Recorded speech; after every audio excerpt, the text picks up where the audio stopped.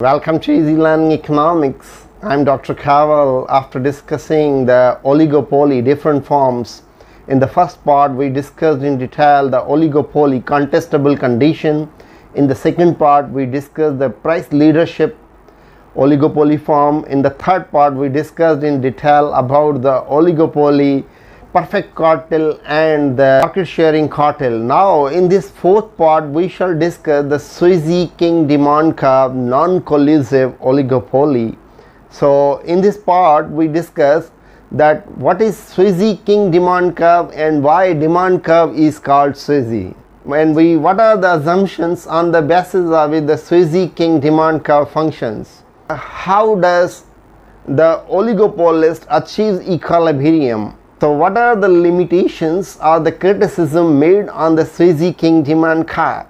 So in this lecture we discuss in detail all about so here I would like to suggest the three videos we already uh, uploaded on oligopoly the first part of oligopoly in which we discussed in detail about the contestable market the second part of the oligopoly you must watch the price leadership model and the third part of the oligopoly perfect cartel market sharing under collusive oligopoly. What is Sweezy-King demand curve and why this demand curve is called Sweezy. Kinked demand curve is non-collusive model of oligopoly. So now question arises that why the Sweezy-King demand curve is non-collusive model of oligopoly because firm act independently.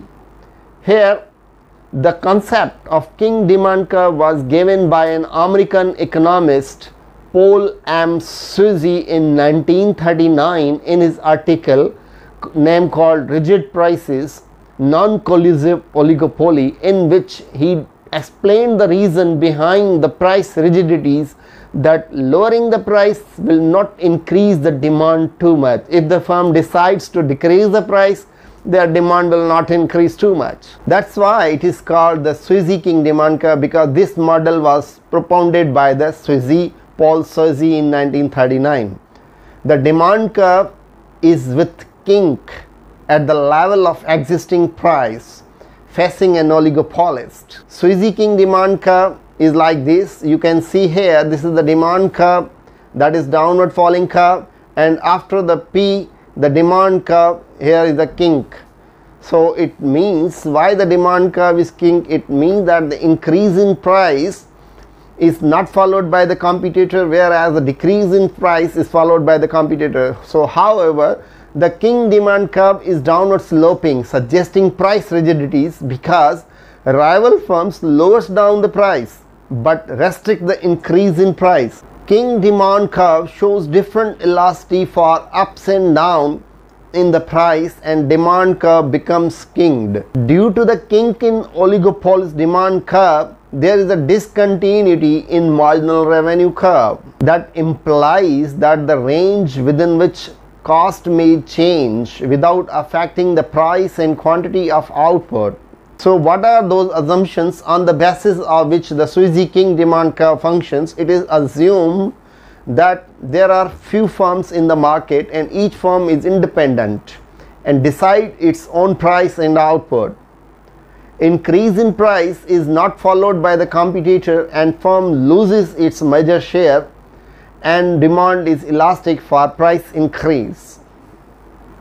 Whereas decrease in price is followed by the competitor and price war starts and demand is inelastic for price decrease. Each seller is aware about the action of the competitor. This is the equilibrium of firm under oligopoly. If the market clearing price is OP and if the firm decides, firm A decides to charge the price P1. So the elasticity is higher at this point because customers will move towards the rival firms and purchase the same product from that firm. So at this point demand is relatively elastic and if the firm is, decides to charge the price P2 this is the called kink and the demand curve however is downward but demand is relatively inelastic. Average revenue is the demand curve of the firm and the marginal revenue is revenue of the firm. So here you can see that that the marginal cost from the marginal revenue. So here the once the kink is formed at this point marginal revenue is discontinued here. Average revenue is equal to D. It means represent the kinked demand curve of oligopoly.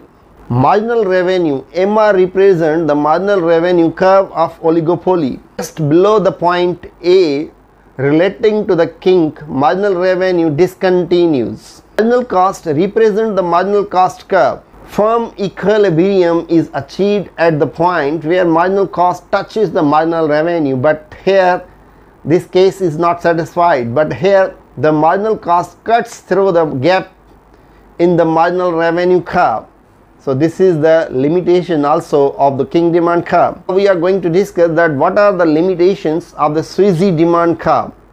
So it means that increase in price is not followed by the competitor whereas the decrease in price is followed by the competitor. So the cost maybe increases or decreases Suppose the cost increases or decreases from MC1 to MC2 or from MC2 to MC1 that the price and output remains same. This model tells about the behavior of oligopolist rather than price and output determination.